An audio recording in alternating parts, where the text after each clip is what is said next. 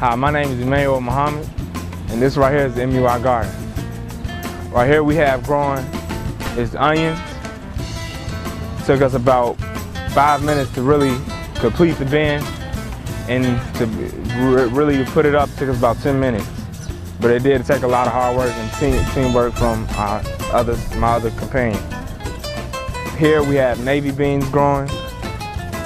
They should be ready. We got to hear back from our teacher and our trainer, Brother Nathan Muhammad. Here we have corn growing, and we have the same thing right here. You know, these little buckets, but these are further along. Here we have zucchini, and you can see with the leaves, when they're like this, they have flowers on top of the zucchini. Over here we have watermelon. Can't wait to get that. We have our herbs, basil and oregano. They should, they look pretty. These, these are, John, if I'm not mistaken, these are basil. This is rosemary, basil. Here we have peppers. If you find, this is a real dark green one.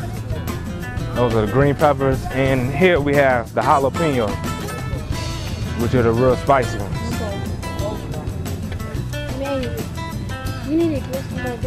We actually brought these back from um, death. They were dying, and now you can see at them, they look real lively, exuberant.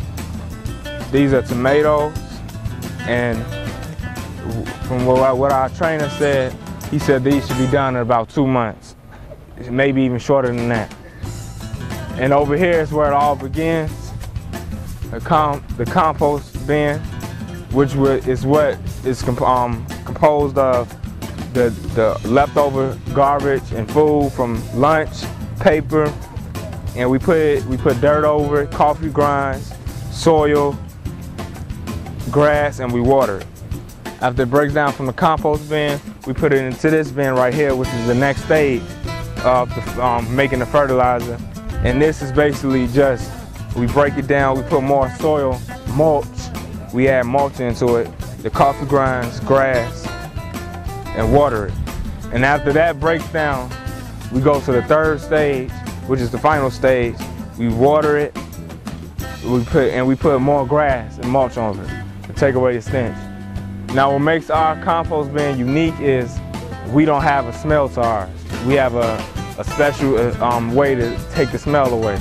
And a lot of people don't have that, that um, way. So when they, they, a lot of people do compost, it starts to um, create a foul stench.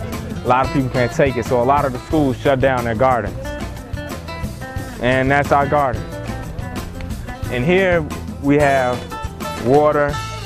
We um, use, this is a contraction by Brother Nathan, which is our um, trainer, like I said in the beginning, who he made this so we can, so when it rains, it's a rain catcher.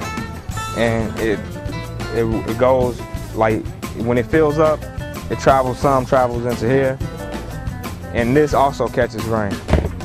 So it, it gets extra, it get extra water. It gets extra water.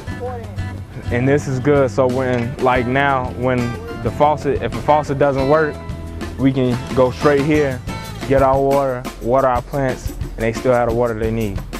And once all of our food is um, and herbs are produced, then we're going to set up a farmer's market for our community so they can have fresh food without all of the pesticides that's, that get sprayed on a lot of the fruits and vegetables we buy from the store.